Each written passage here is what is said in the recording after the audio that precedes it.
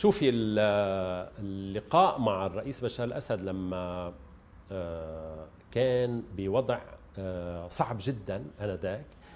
كان ما عاد في مع الدولة السورية أو مع النظام السوري إلا دمشق وليس كل دمشق. حلب مش موجودة أخذوها الحما حمص المنطقة الجنوبية كلها الشمال كله الشرق كله.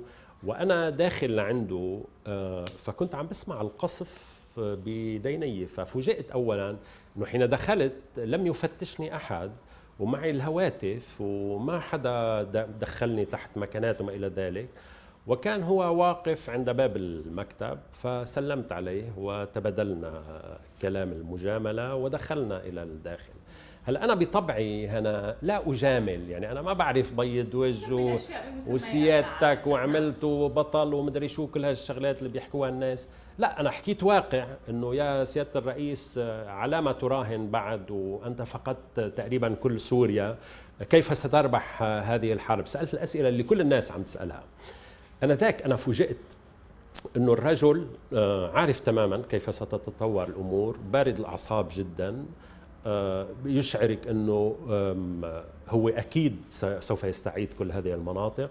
وقال لي قالها لي صراحة قال آه، شوف يا آه، أستاذ سامي نحن كل هذه اللي عم تحكيهم حلب وحما وحمص وكذا سنستعيدها.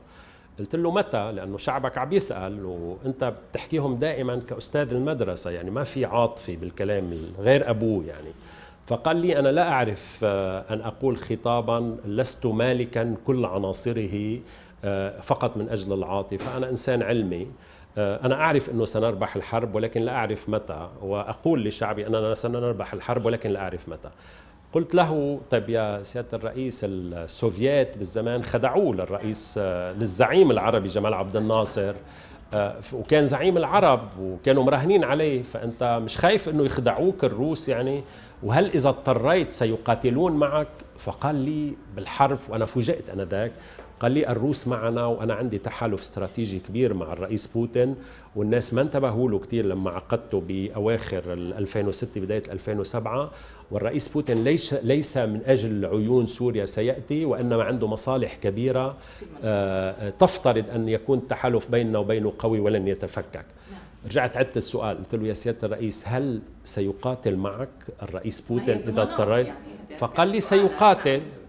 أنا ذهبت إلى بيروت أنذاك ودعوت آه، السفير الروسي آه، السيد ألكسندر زاسبيكن إلى عشاء مع مجموعة من الأصدقاء. وسألته قلت له أنا كنت عند الرئيس الأسد وقال لي أنكم ستقاتلون إلى جانبه. هل فعلا الجيش الروسي سيقاتل؟ بالأول بده يعطيني جواب دبلوماسي. قلت له سعادة السفير أرجوك جاوبني بشكل صريح أو لا تجاوبني. هل ستقاتلون إلى جانب الجيش السوري إذا اضطر؟ فقال لي أخي سامي سنقاتل إلى جانب الجيش السوري. أنا مذاك أنا بدأت أكتب أنه من الصعب إن لم يكن من الاستحالة إسقاط النظام السوري. يعني عندك جيش تفكك جزء بسيط منه. عندك كتلة بشرية حتى النزوح الداخلي موجود عند الدولة السورية. عندك آه، آه، حزب الله يقاتل إلى جانبه، عندك إيران تقاتل إلى جانبه، وعندك روسيا ستدخل، طب كيف بده يسقط هذا النظام؟ بتعرفي نحن عندنا العقل العربي كيف كان؟ لما تكتبي إنه من الصعب أن يسقط فورا الناس بيقولوا لا اذا أنت مع النظام السوري قلت لهم طب لو كتب روبرت فيسك هذا الكلام بتقولوا إنه هو مع